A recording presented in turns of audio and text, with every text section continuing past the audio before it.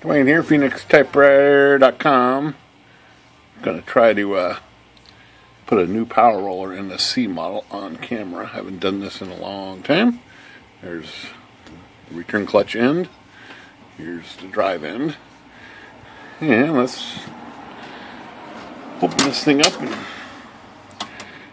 get it uh, in position to install the new roller. Take the keyboard off. I'm going to take the uh, top lid off here. Get it out of the way.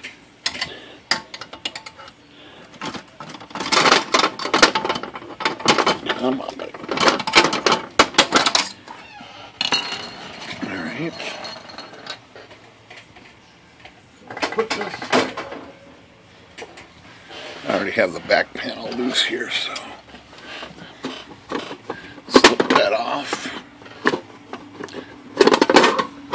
Okay, there's the back panel. Okay, so now we've got the screws already loose down here. Should be able to flip this onto its back. Like, you gotta lift it and pull it. Lift it and pull it. Come on, buddy. Oh, this is a big machine. It's not coming out. I think the cord is. Mm, cord is free. Let's try it again. Better grip on this thing. What? It's hanging up on this. There it goes. Boy, this thing's a monster. Okay. We're going to try to do this while it's still in the case.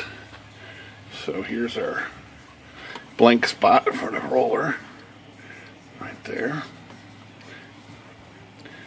And, uh, let's see if I can remember how to do all this. Okay, now that, that goes onto a screw that gets put in after the roller. So one of these washers goes on this side like that. I'm gonna clean this this edge of this roller here. It doesn't look too great. And I'll put some oil on it.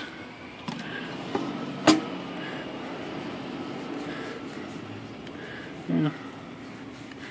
Probably just the way it looks. Some oil on this. Rub it in there. Okay. Wash my hand. I don't want any oil on my hand. Transfer to the roller. Don't need that. Okay, let's stick this through. And we just got to get lined up with this bearing over here.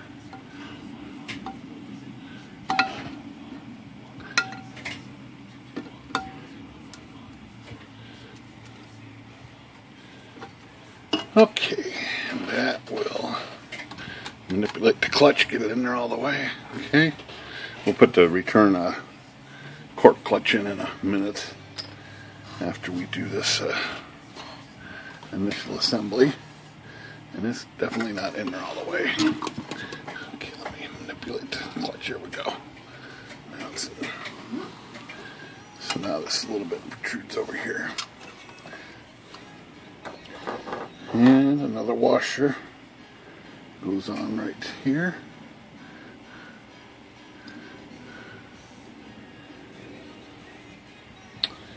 I'm not sure. I think maybe. I'm gonna put it on the inside here. Maybe one on the outside, but it goes there. Drop oil on this. And this piece goes on with the little divots here on the inside, and I don't think it matters which way it goes position wise. So, let me see if I can see how it went. A little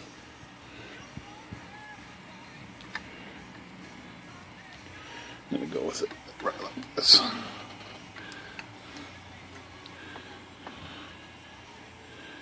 And if everything's right, this will fit in here snugly. Word snugly.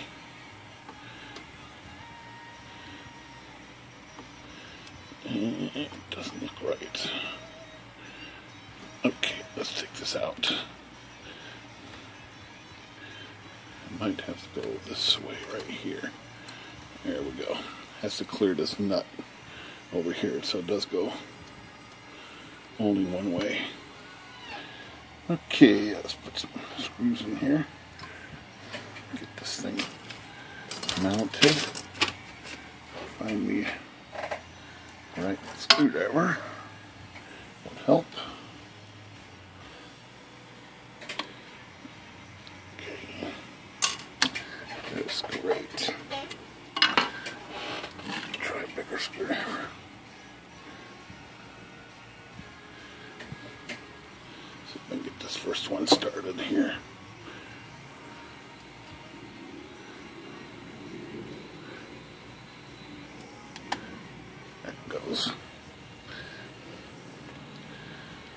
this one down here takes the longer of the screws, which is this one, because it's got to uh, be able to connect up with this big old spring here. So let's see if we can get that started.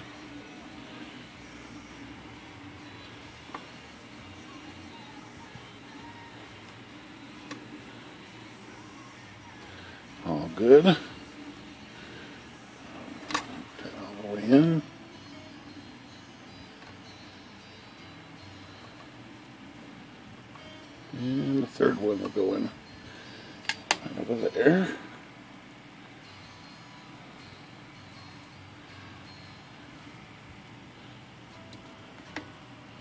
Okay, let's tighten it up.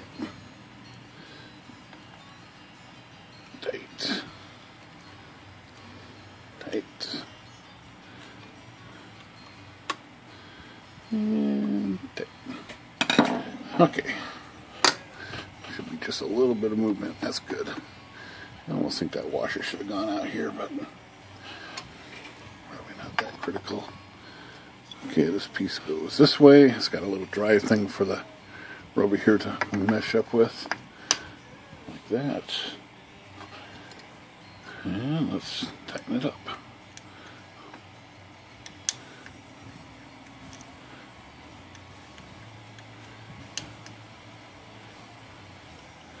Make sure there's just a little bit of side to side movement. A little bit more. Just a little bit. Tighten up.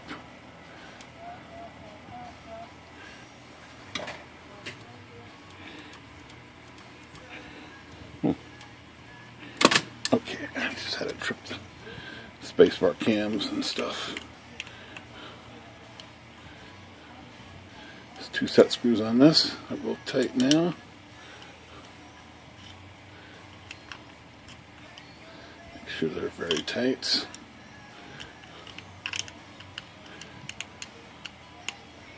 Very tight. Alright, put the belt on.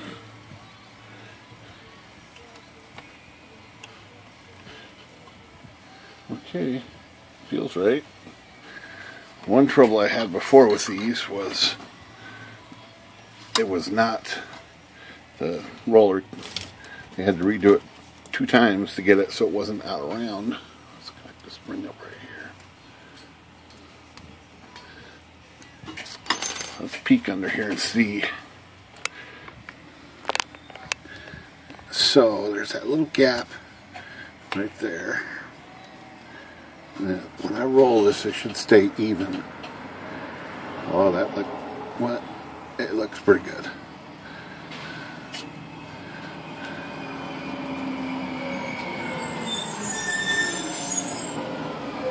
That looks pretty good. There's a little bit up and down. You can kind of see it right there.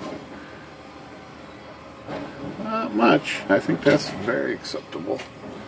The other one was really noticeable. So let's put the return clutch in over here.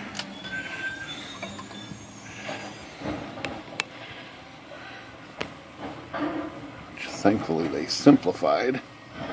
This actually takes a little spacer in here to keep it from making noise, but I'll try. I actually think I have some of those. So this door comes off, and you got to watch these springs right here and here and here. Make sure they don't come off. Put this in place. But see that little bit of play right there? That's what that little spacer takes care of in it. Sometimes it makes like a rattle noise if it's not in place. Alright, put the cap back on. Done. Power roller is in. Shall we try? Shall we try it? I say yes. Let's try it. Put this guy in. Let's see. Got an on off button up here that's still broken. Let's see which way it goes on. Off is that way. Let's try it. Turn it on. It didn't start right away. It's the motor's turning. There. Ain't rot.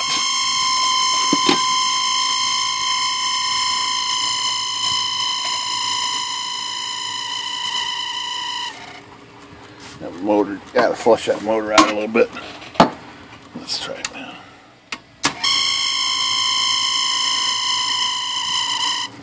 Definitely coming from the motor. Well, I think this thing's been started in a decade or two. Okay, so it's on. I'm gonna have to put it back down in its frame to really get a test out of it. So let's drop it down and get this thing back in place. There we go.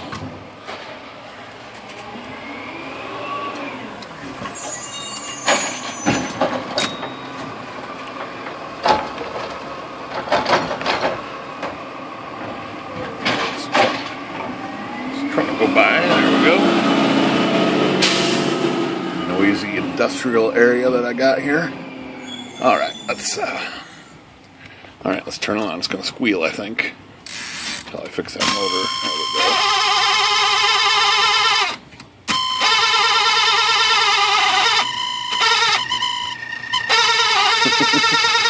Everything is everything is dry over here.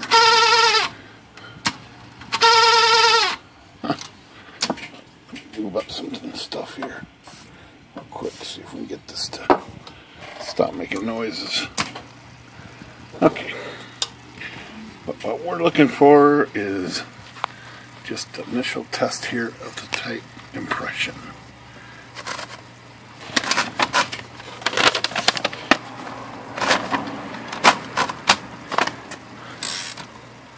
Alright, let's try this sucker.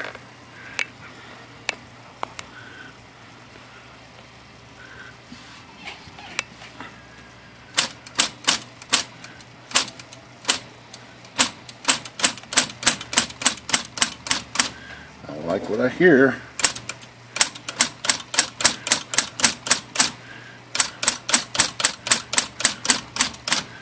That sounds very consistent and uh, light ones there are the period and the dash, or the comma and the period. And impression control is on low.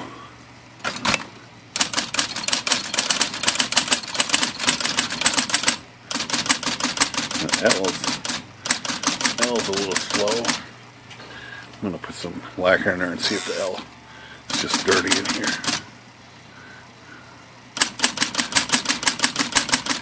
Nope. So I might have to adjust that. Let's try capitals.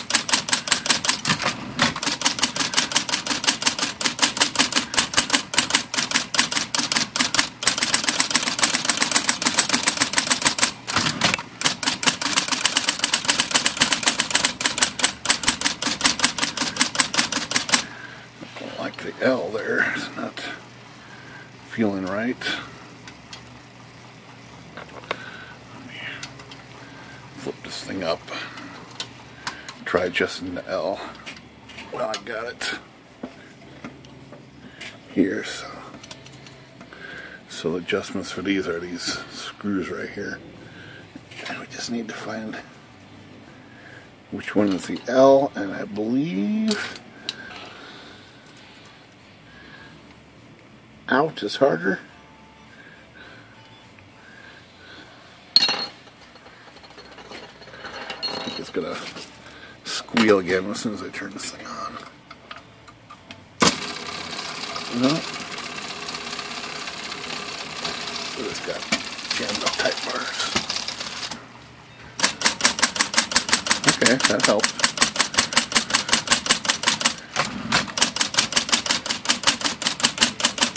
It seems consistent, which is another thing. Nine's a little weak. That's definitely on the low setting, so let's try uh, moving this impression control up and see if that 9 increases itself. Yes, it does. Alright. So we can compensate that with the uh, impression control if needed. I'll try to, I'll go in here and fine tune these and try to get them all equal with those screws beneath and uh, that's it. I'm going to put the on-off switch back in over here and I'm going to relube the uh, motor and the drivetrain over here and figure out what's squealing, make sure that's okay. It's probably just a dry bearing, old oil. Alright, this is a power roller installed and it doesn't sound like the uh, return clutch down here is making any noise, so this should be fine right here. Yeah, I'll probably just leave that. Seems pretty strong. Nice shakes the bench. That's nice. Alright, Phoenix typewriter. IBM C model, new power roller. Good day.